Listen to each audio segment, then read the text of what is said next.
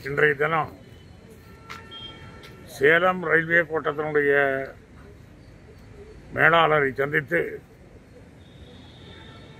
தமிழ்நாட்டிலேயே ஒரே ஒரு ரயிலாக சதாப்தி ரயில் என்ற பெயரில் இயங்கக்கூடிய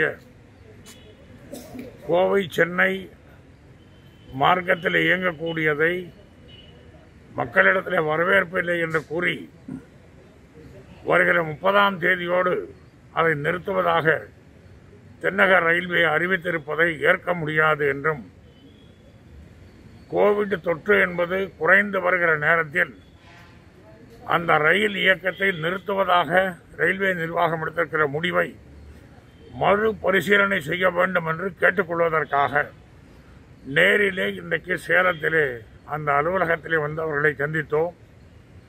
கோவை ராமேஸ்வரம் எக்ஸ்பிரஸ் கடந்த காலத்தை இயங்கிக் கொண்டிருந்தது கேஜ் கன்வர்ஷன் என்று அது மாற்றி அமைக்கப்பட்ட பிறகும் கூட கோவை ராமேஸ்வரம் ட்ரெயின் செயல்படாமல் இருப்பது சரியல்ல. அது உடனடியாக செயல்படுத்த வேண்டும். பொள்ளாச்சி வழியாக ராமேஸ்வரத்திற்கான அந்த எக்ஸ்பிரஸ் விட வேண்டும் என்று வலியுறுத்துவதற்காகவும் கடவு எண் ஆறு கடவு எண் ஏழு பீளமேடு தண்ணீர் பந்தால் பகுதியை சார்ந்த இடத்திலே பொதுமக்களினுடைய உபயோகத்திற்காக சப்வே அமைத்து கொடுக்க வேண்டும் என்று கடந்த காலத்தில் எடுத்த முடிவை அமலாக்குவதனுடைய காலதாமதம் சரியல்ல. அதை உடனடியாக அமலாக்க வேண்டும் என்று நேரிலே கேட்டுக்கொள்வதற்கும் அதை கேட்டுக்கொண்ட போது திங்கட்கிழமை நேரிலே வந்து அந்த இடங்களை மீண்டும் ஒரு முறை ஆய்வு செய்வதாக அதிகாரிகள் ஒத்துக்கொண்டிருக்கிறார்கள்.